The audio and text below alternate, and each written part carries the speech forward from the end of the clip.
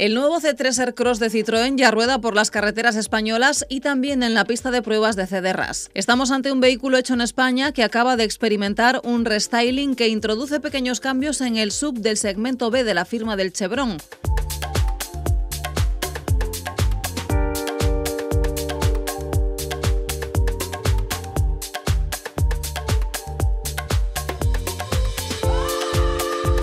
El nuevo diseño del frontal destaca por sus faros a dos niveles unidos entre sí por el doble perfil cromado que se prolonga desde el logotipo de la firma que preside la parrilla central. Los faros LED ofrecen más luminosidad y seguridad aumentando la sensación de protección.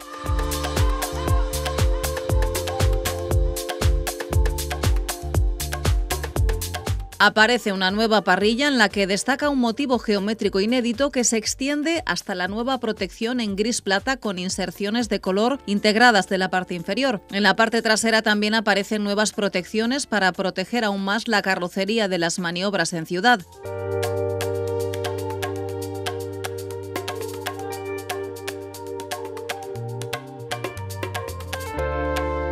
En cuanto a personalización, existen 70 combinaciones posibles para el exterior y cuatro ambientes interiores en el habitáculo. El confort es una de las señas de identidad de este modelo que ahora se ve incrementado gracias a los nuevos asientos Advanced Comfort.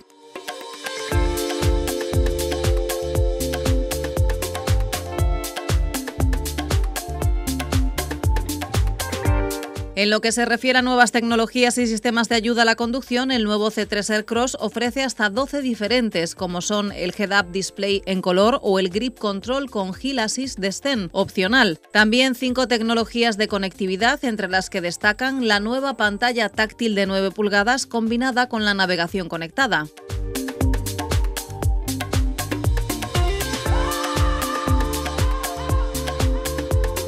Bajo el capó todo sigue igual. Nuestra unidad de pruebas cuenta con un motor gasolina tricilíndrico de 110 caballos con cambio manual.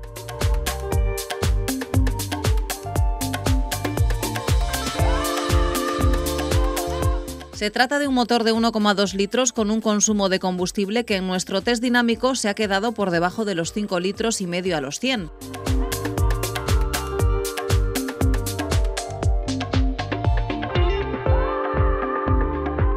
Un propulsor voluntarioso que responde muy bien ante todas nuestras peticiones. La conducción que ofrece es agradable y lineal y las nuevas regulaciones de las suspensiones garantizan una conducción más fluida.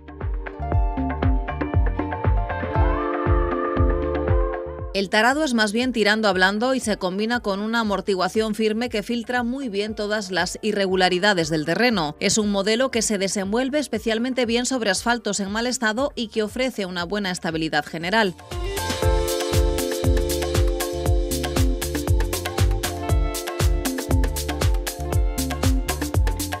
La dirección se maneja sin esfuerzo y ofrece un buen recorrido. Permite disfrutar incluso de una conducción rápida en curvas. La carrocería no balancea demasiado y los frenos a un ritmo alegre se muestran más que capaces.